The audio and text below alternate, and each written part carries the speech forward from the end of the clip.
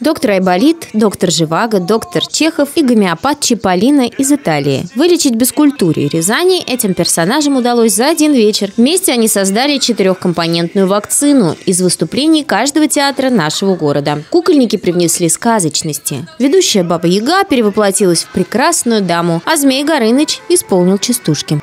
Знает это весь бабок. Драми делают ремонт. У нас от этой головы болели. Музыкальный театр предоставил свое творчество артисты балета и оперетты с юмором и присущей их родному жанру музыкальностью рассказали о своей деятельности. С юмором, кстати, в этот чудесный вечер на сцену выходили все. Мне хочется еще сегодня поблагодарить наше театральное сообщество за большие сердца, потому что они и волонтеры, и добровольцы, и они никогда не остаются в стороне. Давайте поаплодируем нашим театрам. Действительно, губернатор Рязанской области Николай Викторович Любимов, по его поручению мы закрыли два театра.